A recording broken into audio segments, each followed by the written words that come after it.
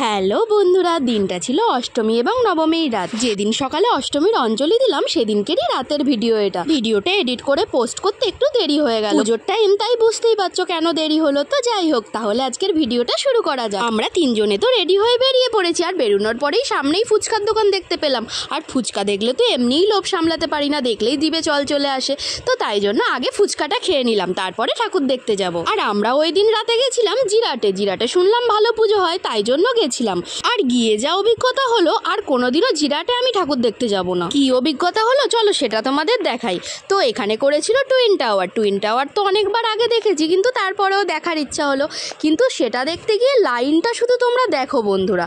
এই লাইন দেখে আর ঠাকুর দেখারই ইচ্ছা হলো না। তো ওখান থেকে আমরা বেরিয়ে তাই চলে এলাম।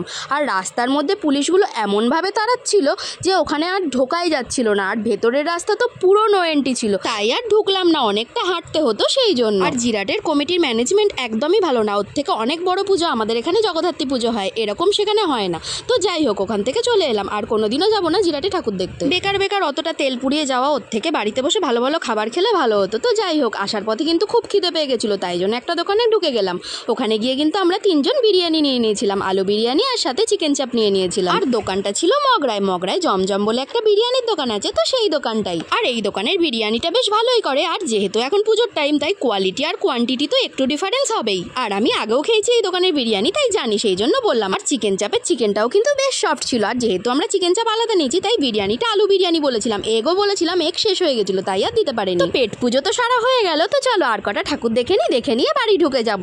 আর আমাদের চুচুড়াতেই আবার চলে এলাম, কয়েকটা ঠাকুর দেখা বাকি ছিল, সেগুলো দেখতে।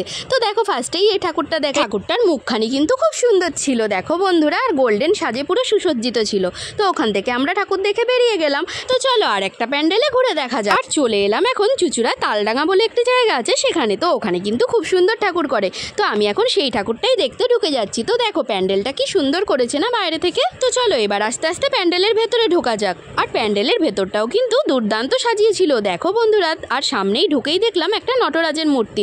তো ওখানে গিয়ে একটু ফটো তুলতে চাইলাম, কিন্তু ফটোটা ভালো উঠল না, তাই আর তোলা হয়নি। আর এবার আস্তে আস্তে প্যান্ডেলের ভেতরে ঢুকে গেলাম। প্যান্ডেলের ভেতরটা কিন্তু পুরো টিন দিয়ে আর প্লাই দিয়ে করেছিল। আর টিনের উপরে খুব সুন্দর সুন্দর বাংলা পুরোনো দিনের কিছু গানের লাইন লেখা ছিল। তো দেখো বন্ধুরা, ভিড় ছিল তো, তাই সবগুলো তুলতে পারিনি, কয়েকটা তুললাম। তো এই যে এখানকার প্রতিমাটি, খুব সুন্দর কিন্তু এখানকার প্রতিমাটি এখানেও গোল্ডেন সাজে সুসজ্জিত করেছিল। তো চলো বন্ধুরা এবার অন্য আরেকটি প্যান্ডেলে যাওয়া যাক আর বেরোনোর সময় একটা মজার জিনিস দেখলাম আর দেখেই সাথে সাথে ক্যামেরা বন্দি করে নিলাম তোমাদেরকে দেখাবো বলে